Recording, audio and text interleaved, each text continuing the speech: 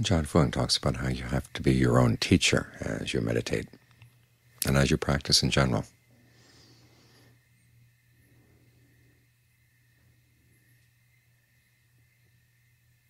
You have to be your own parent. And if you've had unskillful parents, you have to learn the role of how to be a healthy parent. A parent concerned for the child's welfare.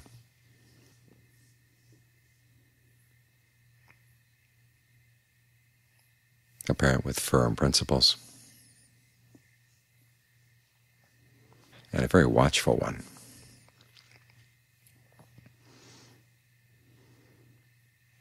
because after all, your outside teachers can't be watching after you all the time. Even, if you have a teacher who can read your mind, he can't spend all his time reading your mind. You're the one listening to your mind all the time. You're the one making the decisions.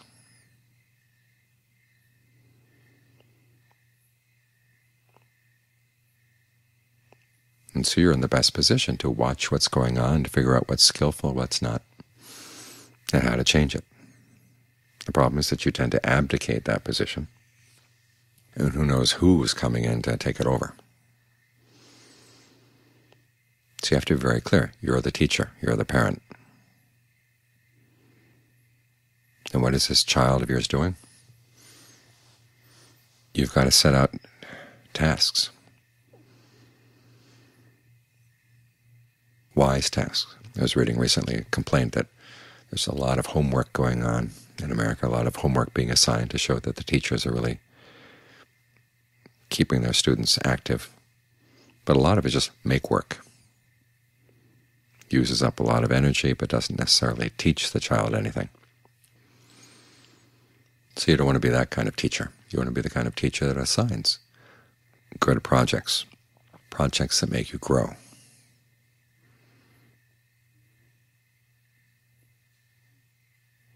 make up your mind you're going to meditate it a half hour every day, we'll learn how to stretch it from half hour to 35 minutes, 40 minutes. Keep working up, working up.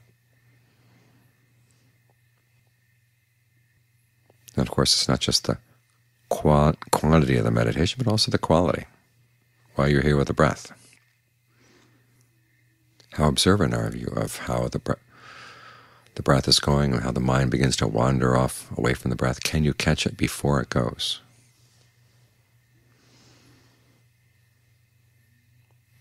Can you learn how to read the signs?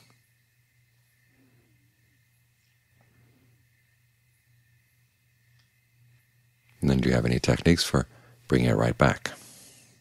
That's a really useful exercise. Another useful exercise is learning to go through the body in very great detail. Noticing how the breathing process affects all the different parts of the body, even down to the little joints in your fingers and your toes.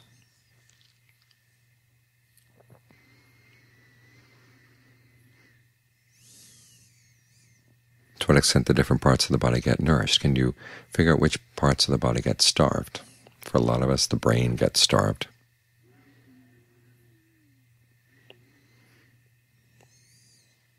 And you find there's a way you can focus on the brain so that it seems like the brain can just take all the energy you want to give it. You have a really good, long, deep in-breaths into the brain.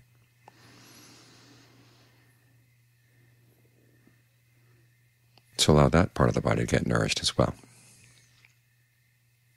So explore the needs of the different parts of the body.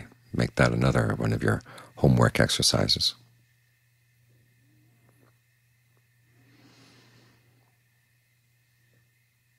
And see how long you can stay with the breath and not lose your focus. If you do lose your focus, see how quickly you can come back.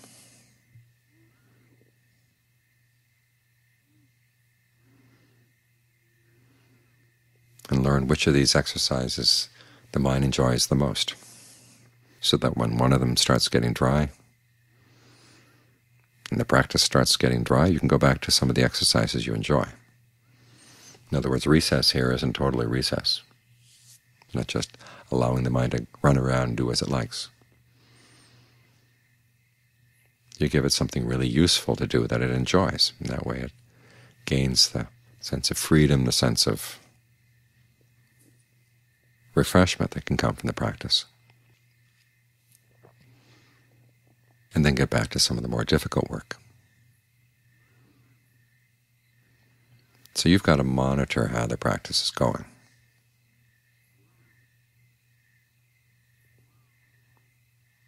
And you've got to stay there in the classroom while the students are working, because otherwise the bullies will gang up on the weaker kids, and the lazier ones will just start fooling around.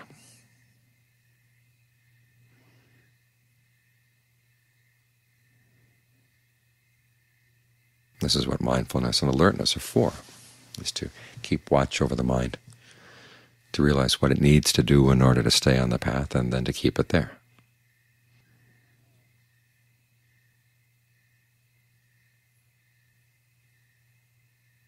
So realize your responsibility here.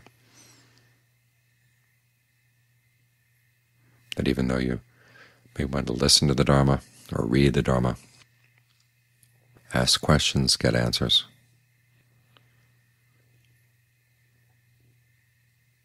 Those are aids and assistance on the outside. The real work has to be done inside. I mean, even the Buddha could only point the way and give encouragement. But each of his disciples had to do the work for him or herself. And it's the same with you. You've got to be your own teacher. There's no way that anyone else can get into your mind. And when you were a child, you were very susceptible. But even then, you may have noticed that you have two children living, living in the same house, and they pick up very different messages from their parents. And as they get older, their filters tend to be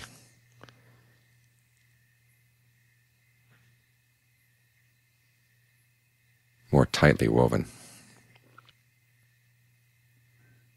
So it's possible you can listen to a Dharma talk and totally miss the message or come out with a very different one.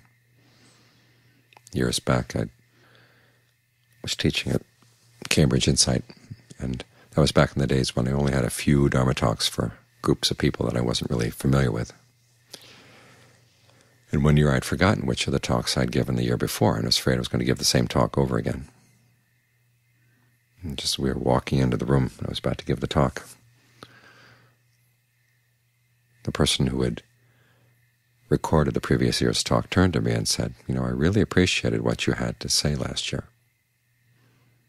It stuck with me all this time. And then she made a statement, which supposedly I'd said last year, and I knew that I would never have said anything like that. So I began to realize it wouldn't matter if I did repeat last year's talk. People remember what they want to remember.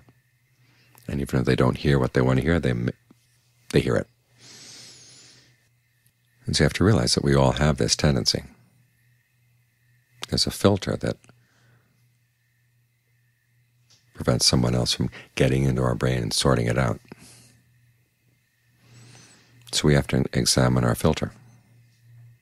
Again, we have to take responsibility for the Dharma we hear, the Dharma we understand, the Dharma we apply. That all has to be put to the test.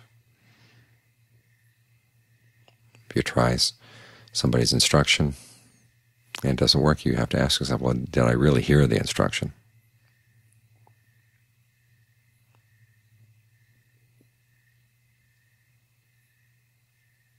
And if the person isn't around to check, you say, well, whether I heard it or not, it's not working. Let's try something else.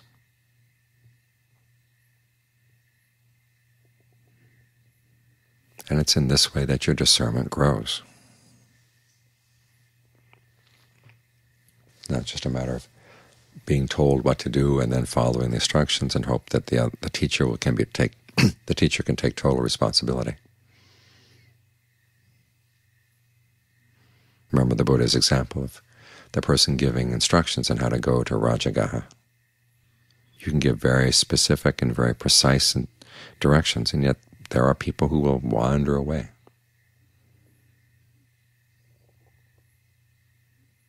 Go off someplace else.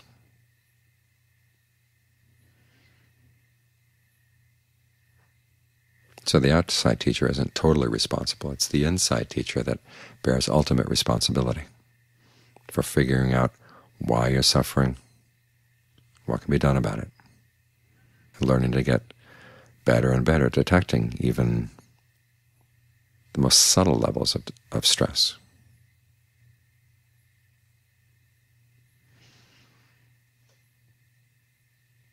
And being willing to listen to some of the teachings that may strike you as most foreign. I've noticed over the years that when I teach in various places, the teaching that gets people most set, set off is the teaching on rebirth. They regard it as totally irrelevant. But it's not. You're making decisions here all the time based on how you calculate what the results of those decisions are going to be. And if your calculation includes only this one lifetime, you're really going to limit your your sense of where the dangers are in the mind. What an act of desire might do or an act of attachment might do. Which means that there, you end up with a lot of things in the mind that don't get probed, don't get investigated, because they seem perfectly innocuous or perfectly fine. You get a nice state of equanimity and feel this is going to take care of you. But as the Buddha points out, you can get stuck on equanimity. It leads to a long rebirth in a nice place, but then he said even in those nice places, when you leave those nice places,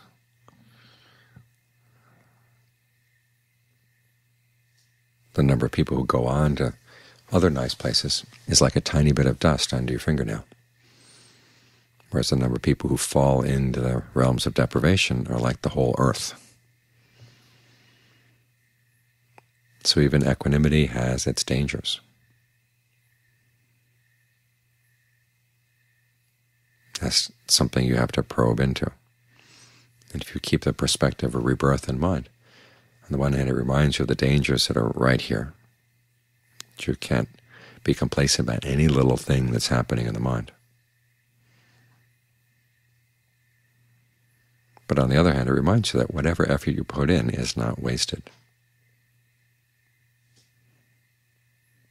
Even if your life were to end tonight, the fact that you're on this trajectory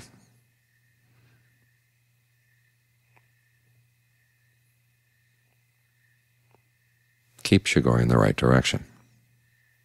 It's not all wiped out by the fact of death.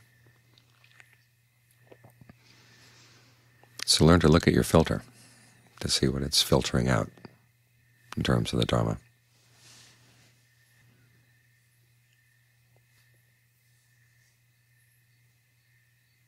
Make the best use of what you have learned and what you can understand. And through the practice, you develop what the Buddha calls bhavana maya panya, the discernment that comes from actually developing qualities in the mind. You can hear things, you can think them through. It gives you one level of discernment, but the real discernment that's going to cut through your defilements has to come from putting the teachings into practice, being your own inner teacher, and holding all the little students in your classroom to really high standards.